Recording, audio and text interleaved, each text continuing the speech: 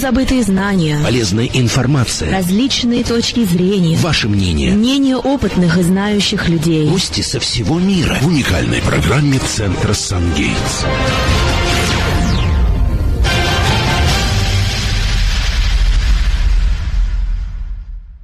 Здравствуйте, дорогие радиослушатели. В эфире радиоцентра «Сангейтс» и у микрофона ведущий программы «Культура неподвластное времени» Михаил Мелехов.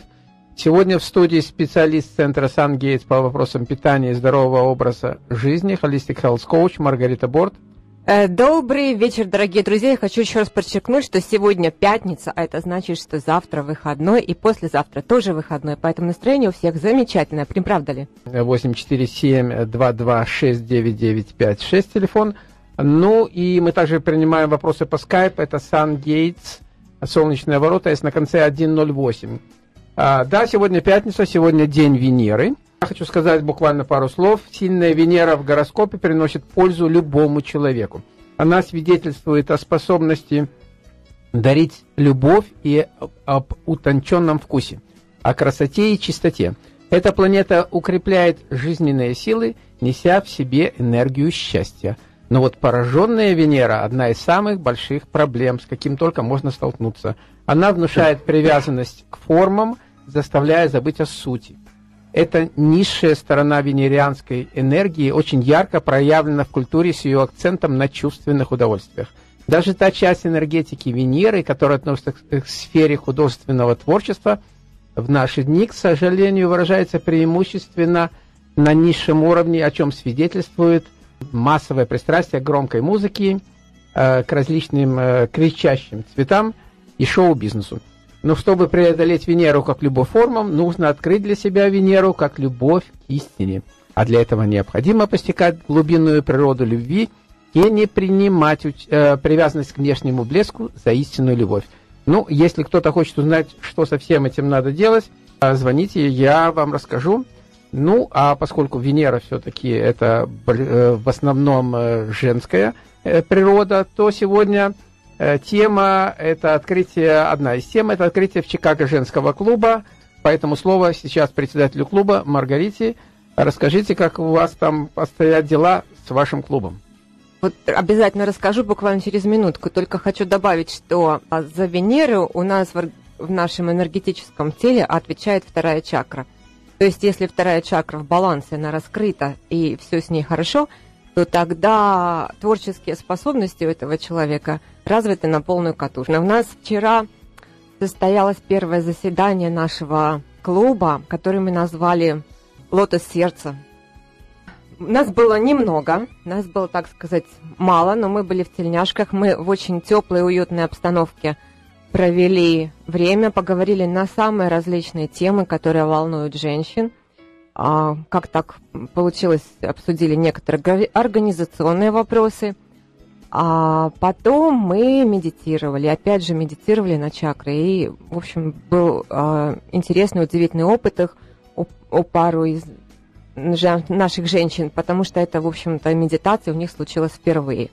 Они не знали, что они, в принципе, представляли, что это такое, но никогда раньше этого не делали. Поэтому я думаю, это будет очень хорошо, если к нам будут присоединяться и те, кто хочет понять, разобраться в себе, разобраться, что же такое медитация, разобраться во многих других истинах, которые волнуют, волнуют нас, женщин. Вообще, на самом деле, для женщин, я так думаю, я просто предполагаю из своего собственного опыта, что для женщин одним из главных элементов для настоящего женского счастья является что? Является внимательный, заботливый, покладистый, сильный и горячо любимый муж. Солнце. Да, обязательно, чтобы он был солнцем. А если он еще не только ходит а, на работу, ну, может быть, на рыбалку, а еще и дома помогает, ну, это вообще просто супер. Таком, о, том, о ком только можно мечтать. Потому что в наше время женщина не только хранительница очага, но и с успехом зарабатывает деньги и делает карьеру, и когда она уставшая приходит домой, ее ждет еще и приготовление ужина, уход за ребенком и всякие там остальные бытовые дела. И почему бы ей не помочь? Почему бы не проявить искренность и любовь, и уважение? И это будет самый-самый жирный плюс вот к тому самому женскому счастью.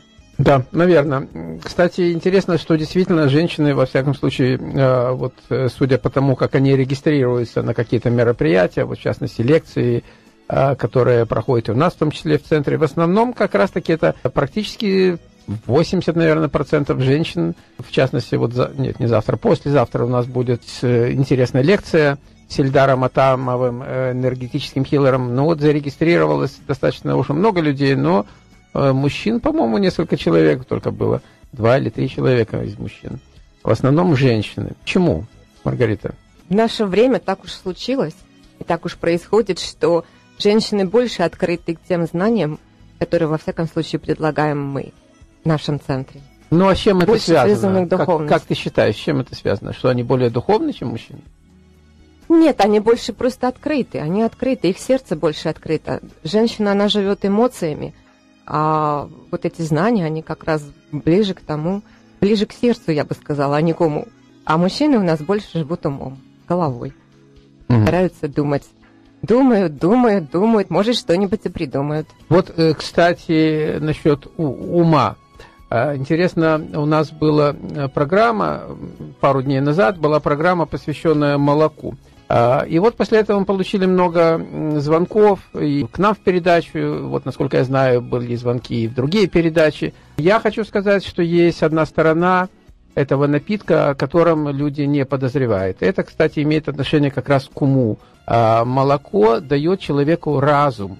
При помощи молока а, происходит очищение тонких тканей головного мозга, как ни странно. Вот. Это, эту часть э, не все знают, будем так говорить мягко, врачи. И э, вот иными словами это дает разум. Ну, а поскольку, к сожалению, никому не надо, чтобы человек был разумным, ну, поэтому вот так, таким образом молоко переводят э, в формат э, пищевых продуктов и начинает делить его там на все составляющие, и, соответственно, жиры, и все, все, которое очень вредное, и так далее, и так далее, и так далее.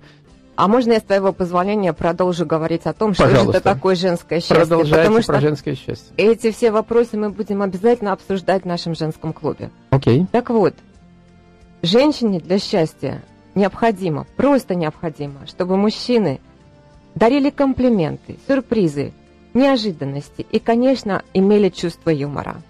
Потому что эти мелочи жизни и никак не может обойтись ни одна девушка без вот этих мелочей. И тогда она, может быть, будет чувствовать себя более счастливой. Ну, есть еще самый простой способ подарить ей а, частичку счастья, без особых усилий, а просто похвалить ее новый наряд или прическу. Обратить внимание, что она сегодня такая замечательно выглядящая, подарить ей что-нибудь недорогое, например, букет цветов. Знаете, какой сегодня э, цвет роз надо предположительно дарить женщине? Э, ну, сегодня желательно дарить, э, скажем так, ну, цветы понятно, каждый день, но сегодня самый благоприятный день для подарков э, в виде бриллиантов. А, да. Вот ну... сегодня день Венеры, и вот сегодня можно дарить бриллианты.